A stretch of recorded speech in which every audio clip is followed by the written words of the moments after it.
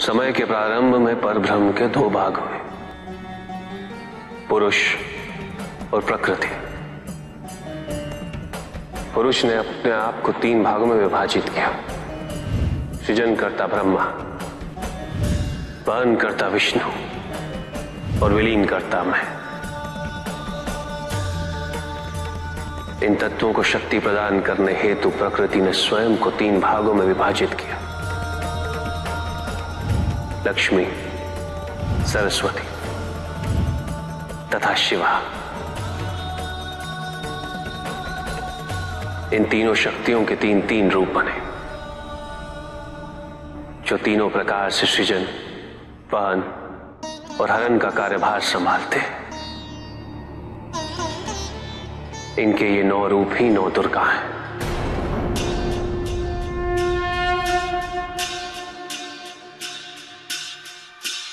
इनका सबसे पहला रूप है शैलपुत्री। शैलपुत्री अर्थात पर्वतराज हिमावन की पुत्री और इसी कारणवश इन्हें वृषारुधा के नाम से भी जाना जाता है। नवदुर्गा का दूसरा रूप है ब्रह्मचारिणी। ब्रह्म अर्थात तपस्या। चारिणी अर्थात आचरण करने वाले। ये रूप उस ज्ञान व आचरण का प्रतीक है। जिसके माध्यम से इन्होंने मुझे अपने पति के रूप में प्राप्त किया। नवदुर्गा का तीसरा रूप है चंद्रघंटा। मस्तक पे घंटे के आकार में आधा चंद्र ये रूप अत्यंत शांतिदायक और कल्याणकारी है। विभिन्न प्रकार के अस्त्र और शस्त्र, इनकी आठ भुजाओं में सुसज्जित है। इनका तीसरा नेत्र सदैव खुला रहता है। यह है नवदुर्गा का चौथा रूप। इनकी मंद मंद हँसी से संसार का जन्म संभव होता है। और इसी कारणवश इसे कुष्मांदा के नाम से जाना जाता है। अष्टभुजा, शस्त्रधारिणी, व्याघ्रवाही हिरण्यवर्णा केवल यही है जो सूर्य के भीतर लोक में वास करती दसों दिशाएँ इन्हीं से आलोकित है। जिनकी कृपा से मूर्ता विज्ञान सागर में परिवर्तित हो जाती। है वो है स्कंद माता। नवदुर्गा का पांचवा रूप सिंह वाहिनी और इनकी उपासना द्वारा। मोक्ष का मार्ग सुलभ होता है। जिस रूप में इन्होंने महिषासुर का वध किया, वो कत्यायनी कहलाता है। इनकी आराधना करने से अर्थ धर्म, काम और मोक्ष फलों की प्राप्ति होती है। ये रूप काल रात्रि रूप कहलाता है। एक हाथ में लोहे का कांटा और एक में खड़क, जिनका आशीष शुभों का कर्ता और कारक है। ये अंधकार का विनाश करती हैं।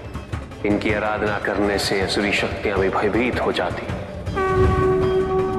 ये इनका महागौरी रूप है। श्वेत वर्ण, श्वेत वस्त्रों से सुसज्जित, चतुर्भुज, त्रिशूलधारी। तालवाद्य धारण करने वाली ये इस रूप में अपने उपासकों को अवैदान देती माँ दुर्गा का नौवा रूप सिद्धदात्री कहलाता है।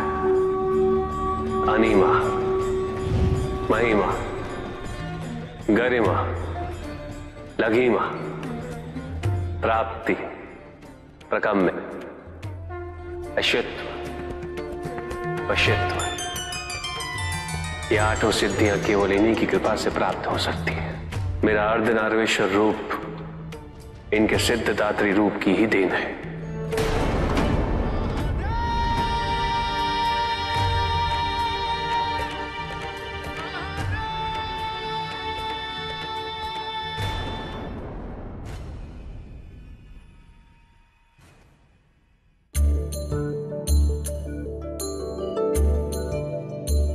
देवी पार्वती हिम नरेश हिमावन की पुत्री है। माँ शैल्य पुत्री प्रकृति का प्रतिरूप है। देवी पार्वती सदैव सभी प्राणियों की रक्षा करती हैं। चाहे वो देव हो या मनुष्य, माँ सभी पे अपनी कृपा दृष्टि बनाए रखती है। इसलिए जब महिषासुर ने संसार में अपना आतंक मचाया, तब माँ ने महिषासुर मर्दिनी का रूप धारण कर दिया। महिषासुर!